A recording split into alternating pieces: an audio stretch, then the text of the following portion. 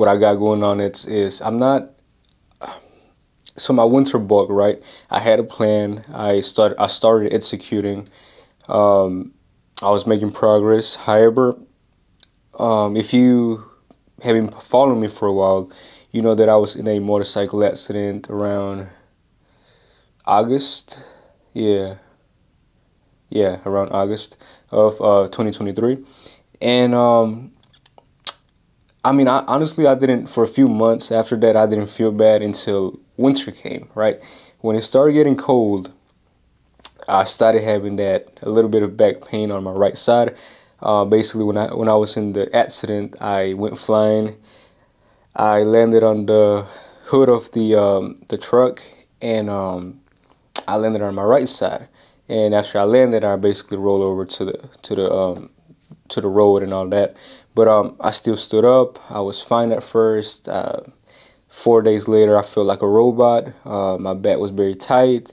You know, I started going to the chiropractor. Um, thankfully, I didn't have anything broken, at least not that I know of. Uh, they didn't tell me about any fractures, but recently my right side under my rib cage has been, uh, you know, it's been it's been cracking a lot, you know, and it, and it has been bothering me. It started bothering me. It felt more like a muscle tear at first.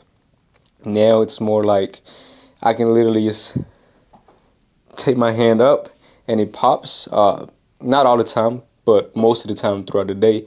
And it's like air inside, right? It feels like air inside, and it's, and it's just it's very uncomfortable, right? Um, it's not painful. Um, sometimes it is, but not always. And like I said, if I keep popping it, it's, it's almost like if I was pushing it back up kind of thing, right? If something was hanging in, like the muscle or something was there hanging in, I, I, I would just push it back up, right? And the pain kind of goes away. But I got to keep const constantly doing that. So I'm definitely definitely going to get that checked out. Now, with that being said, uh, feeling that I just didn't want to push it too hard on, on my workouts.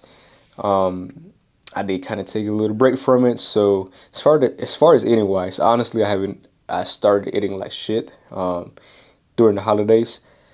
Um, I mean, you gotta enjoy it, right? You gotta enjoy the the holidays. The plan was to eat, you know, kind of like shit throughout the holidays, but still be working out hard, right? Lifting weights, pushing weights, uh, still doing some cardio, right? I wasn't able to do the workout part or the cardio part, right? I, I tried to, but it was more like therapy instead of actually like for bulking. You know what I mean? So that's the only different, the only thing that kind of like I feel like kind of held me back. Right now I am at 156, 57. Some some mornings I'm actually heavier. I think I was actually 159 this morning, but I think it's back down to like 156.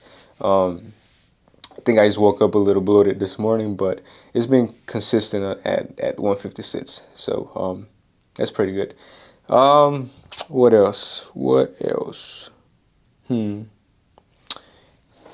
But yeah, as far as now going forward, uh, it's we're in January right now, January 23. So I'm still, you know, I'm still working out, uh, changing a few things here and there just to make sure my back is safe. Still trying to hit the back a little bit, but not going completely hard at it. Right now, I'm not gonna do any cutting, nothing like that. I'm still gonna keep eating uh, as far as I'm gonna start tracking my calories again because that that is something that I stopped doing. I stopped tracking my calories, but I'm gonna start tracking it again just for maintenance. So I'm not gonna be in a calorie deficit. I'm probably gonna start doing some cardio in there just kind of like even things out because I do feel like I'm getting a little little chubby around the stomach area. So I'm gonna start. I'm gonna add a little bit of cardio in there. Still lift some weights. Uh, try to push a little bit more every time uh, just kind of build my, my way back up again until I feel good, right? Um, but like I said, I'm not gonna do any kind of cut. I'm probably gonna maintain or try to maintain for the next two months. That's the goal. So uh, it's about to be February, right? So all February, March, even April. Yeah, I would say April. I'm I'm I'm gonna try to maintain those three months. Kind of maintain at this between 156 and 160, 160 kind of thing. And then April, May, March, April, May. And then around May, I'm gonna start cut, cutting down, right? So somewhere in July, like halfway through through July, that's where I kind of want to be kind of cut, right? So I'm gonna give myself like a month and a half. So right now I'm gonna maintain my body fat is around 25% right now. Uh, one May once May comes, um, then I start cutting down and I I drop the goal the the goal is to drop my body fat down to a good 18%, right? If not 16%. Just depends. Just depends how I feel. Honestly, just depends how my back feels during that time.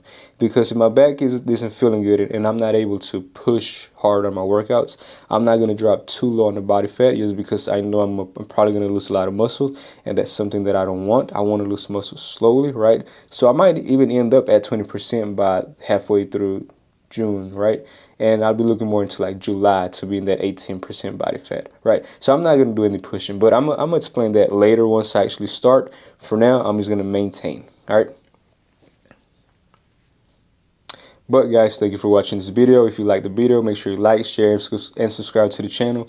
If you need a personal trainer and you're in the Fayetteville area, you can always feel free to message me. I'll leave the links down below, including my website. And if you are looking for an online coach, I got you. Just visit unleashyourfitnesspt.com and you can go over to uh, online coaching, send me a message, right? Putting your information in there, send me a message, submit it, and I'll answer as soon as possible. Um, see you guys on the next vlog, all right?